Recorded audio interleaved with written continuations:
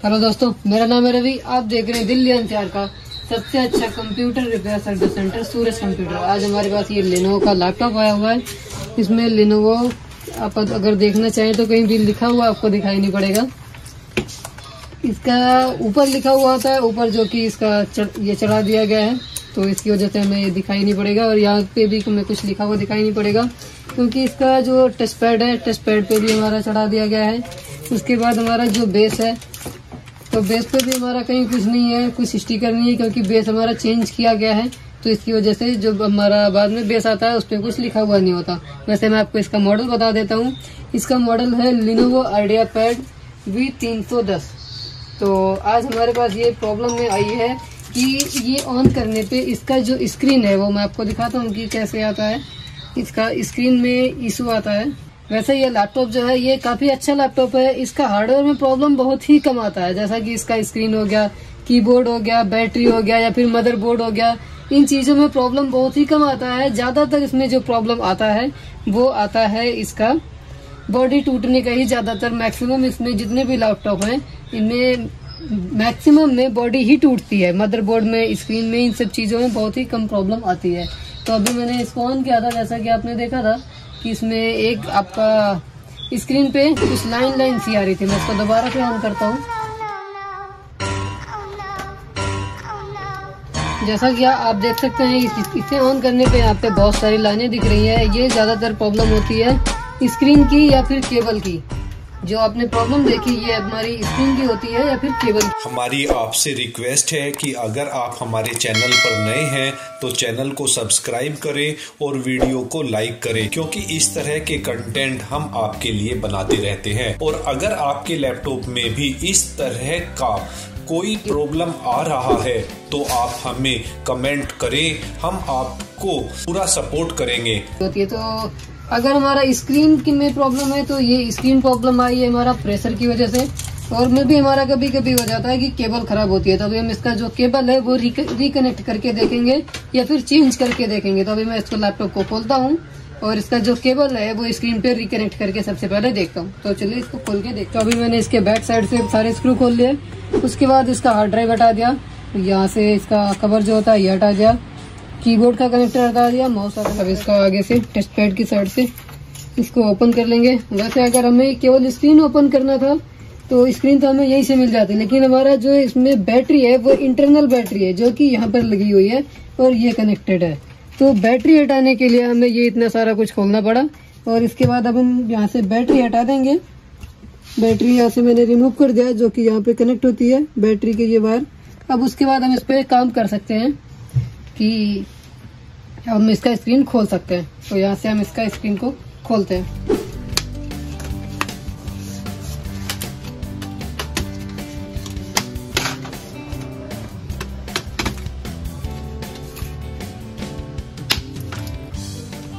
यहाँ पे लॉक होते हैं, ये लॉक में ओपन करना पड़ता है। तो ये हमारा जो बेजल है स्क्रीन का, ये बाहर आ गया।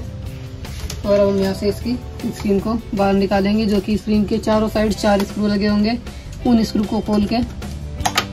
अगर आपको हमारी वीडियो अच्छी लगती है तो चैनल को सब्सक्राइब करें और वीडियो को लाइक करें।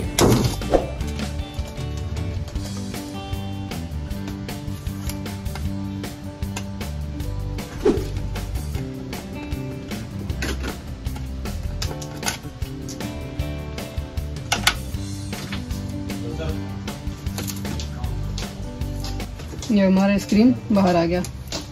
ये हमारा स्क्रीन यहाँ पे कनेक्टेड है केबल के साथ। तो हम इसके ऊपर एक टेप लगाए, वो पहले तो वो टेप निकालेंगे।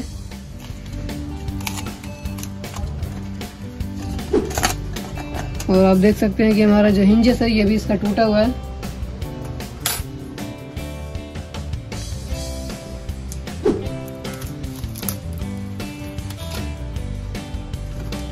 और उसके बाद यहाँ से हम इसका जो कनेक्टर है, वो अलग करेंगे।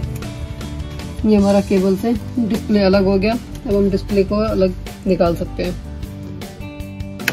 और हमारा दूसरा साइड ये मदरबोर्ड पे यहाँ पे कनेक्टेड है। इसका जो डिस्प्ले का केबल है तो हम इसको दोनों साइड से आईपी से साफ़ करेंगे और उसके बाद केबल को फिर से लगाएँगे। तो ये हमारा आईपी है, जो कि हम टूथब्रश पे लेके इसको साफ़ करते हैं कनेक्टर को।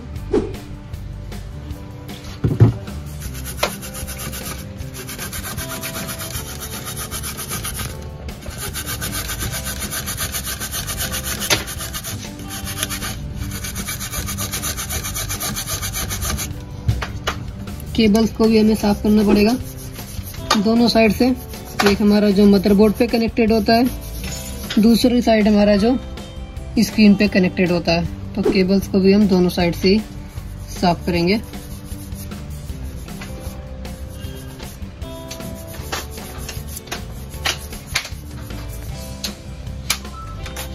उसके बाद हम इसको थोड़ा देर के लिए छोड़ देंगे ताकि जो भी हमने आईपी डाला है, वो सूख जाए। वैसे इसमें कुछ होता नहीं है।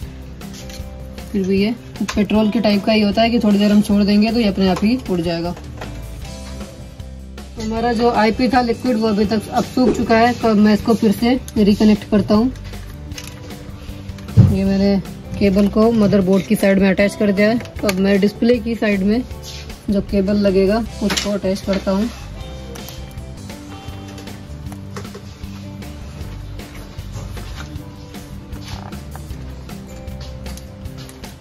ये भी हमारा अटैच हो गया।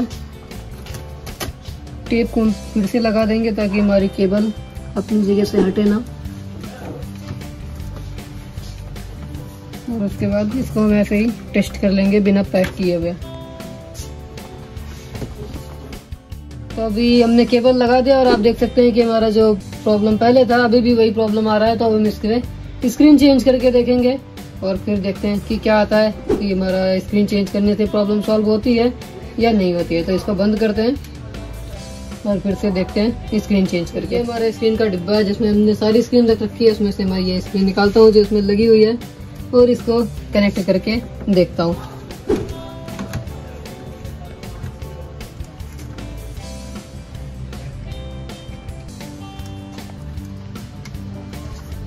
तो ये हमारी स्क्रीन कनेक्ट हो गई।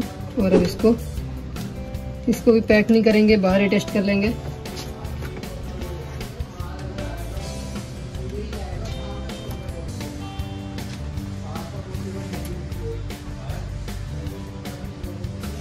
तो स्क्रीन चेंज करने के बाद आप देख सकते हैं कि ये हमारा डिस्प्ले जो है वो आया था और अभी ये रिस्टार्ट हुआ है मशीन फिर से। तो रिस्टार्ट होने के बाद अभी फिर से ये डिस्प्ले आएगा। तो आप देखते रहिए, दिखाता हूँ कि स्क्रीन चेंज करने के बाद हमारी जो प्रॉब्लम है, वो सॉल्व हो चुकी है। और मैं इसमें मदरबोर्ड से नहीं प्रॉब्लम है और नहीं हमारी केबल से प्रॉब्लम है। इसमें हमारी स्क्रीन की ही प्रॉब्लम है। स्क्रीन चेंज करने से ये प्रॉब्लम सॉल्व हो जाएगी। अभी आप देख सकते हैं कि हमारा डिस्प्ले फिर से आ गया है और ये हमारा लिखा हुआ आ गया है। तो इसमें हमारा स्क्रीन चेंज करने से ये प्रॉब्लम सॉल्व हो चुका है।